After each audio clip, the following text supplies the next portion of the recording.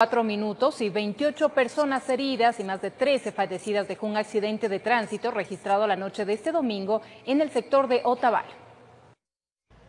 Un bus interprovincial que cubría la ruta Quito-Ibarra se volcó la noche de este domingo en la vía panamericana a la altura de Otavalo, por el sector González Suárez.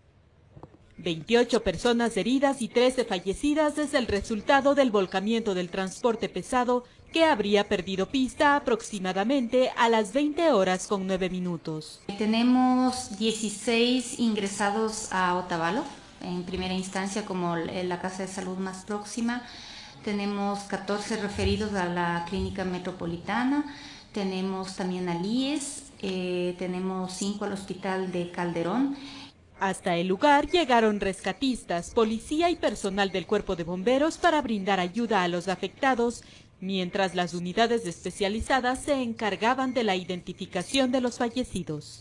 De los cadáveres que por el momento todavía no han sido identificados, no poseían documentos, los cuerpos que fueron rescatados del sitio, por mientras eh, igualmente los familiares que pudieran acudir al tanatorio para poder identificar visualmente, si es posible, con el listado de pasajeros que eh, conocemos, embarcaron 39 pasajeros, pero eh, sabemos que en el trayecto otros pasajeros han subido al bus y podrían ser parte de las víctimas. Solamente en el Hospital San Vicente de Paul estarán las personas fallecidas para que puedan igual acercarse, a hacer el reconocimiento pertinente.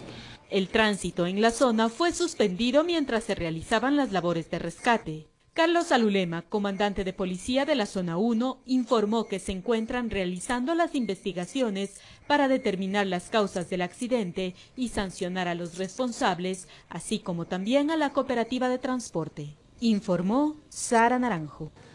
Vamos a contarles una